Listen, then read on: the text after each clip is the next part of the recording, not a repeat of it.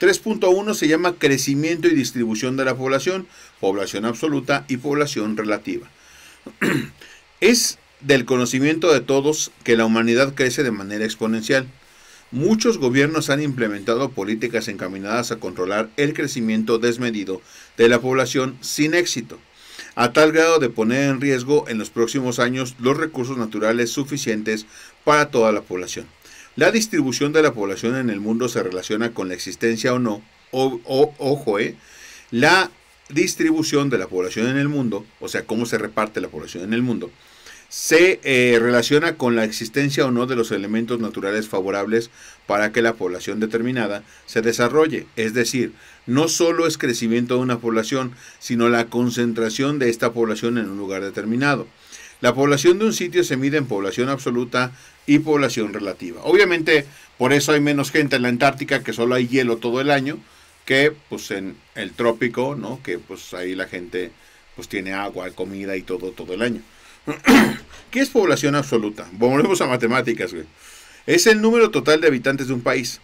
Entidad federativa, municipio, ciudad o localidad. Si hay 100.000 habitantes en la Ciudad de México, que no hay más, hay más, ¿no? Como 8 millones. Si hay 8 millones de en la Ciudad de México, eso es la población absoluta. Nada más. Los habitantes es la población que hay en cada lugar. En, en México, la población absoluta de México es de 140 millones de habitantes. 140 millones de mexicanos. Pues entonces, esa es la población absoluta, ¿entiendes? Como ejemplo te pongo eso.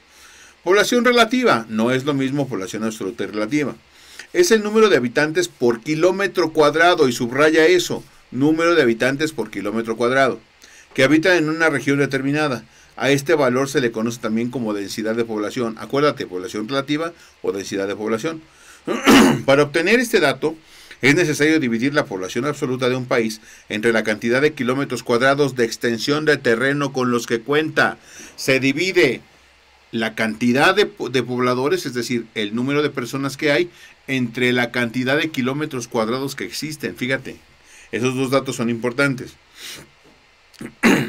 De una extensión de terreno con los que se cuenta. Por ejemplo, si en un país, si el país cuenta con 100 kilómetros cuadrados y 2.000 habitantes, entonces su densidad de población es 20 habitantes por kilómetro cuadrado. Población relativa es igual a población absoluta sobre territorio. Esa es una fórmula este, matemática. Población absoluta sobre territorio. y este, pues se aplica tal y, como, tal y como está. Población absoluta sobre territorio. Entonces déjame te lo muestro porque probablemente no lo puedas ver y yo quiero que lo veas matemáticamente hablando, cómo se representa. ¿eh? Ahí está, mira, te lo voy a mostrar ahora en la pantalla. Resulta que en la pantalla tenemos un ejemplo. La población absoluta es de 2.000 habitantes. El territorio es de 10 kilómetros cuadrados. ¿Cuál será la densidad de población o población relativa? ¿Qué hacemos? Población relativa es igual a población absoluta sobre territorio. Dijimos que la población absoluta son todos los habitantes que hay, 2.000. Territorio, 10 kilómetros eh, cuadrados. Entonces, 2.000 entre 10 son 200 habitantes por kilómetro cuadrado. Es decir, la población relativa pues es de 200 habitantes por kilómetro cuadrado. ¡Ojo! si nosotros tuviéramos la población absoluta, ¿no? Este, la población relativa, también podríamos sacar todo lo demás, ¿no? Por ejemplo, Recordemos que población absoluta, obviamente esto lo vimos en matemáticas, ¿no? Población relativa es igual a población absoluta sobre territorio, pero si nos dieran relativa y territorio, también podríamos sacar absoluta. ¿Cómo lo hacemos? Este población absoluta, ojo, que está siendo dividido por territorio, el territorio pasa del otro lado multiplicando a población relativa, mira, como aquí territorio pasa del otro lado multiplicando a población relativa y deja solito a población absoluta. Entonces, población absoluta es igual a población relativa por territorio. población relativa, población absoluta son 200 este, habitantes, ¿no? En este caso, pues ya lo vimos que son 200 habitantes por kilómetro cuadrado. Y población este, y territorio son 10 kilómetros. Entonces, pues multiplicamos. Kilómetros y kilómetros se elimina. Matemáticamente así es y este, quedan 200 sobre 1 y 10 sobre 1. Hacemos la multiplicación. 200 por 10 son 2000 y pues 2000 entre 1 son 2000. 1 por 1 es 1, 200 por 10 son 2000 y 2000 entre 1 son 2000. Chécate, no tiene nada de complicado.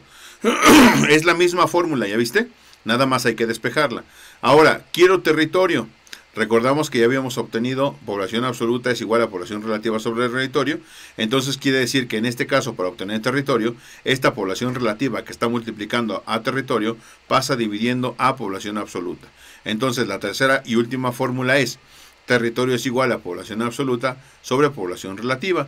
Población absoluta son 2.000 habitantes, población relativa son 200 este, habitantes por kilómetro cuadrado, habitantes y habitantes se eliminan y queda 2.000 entre 200, 10 kilómetros cuadrados. Es lo único que queda.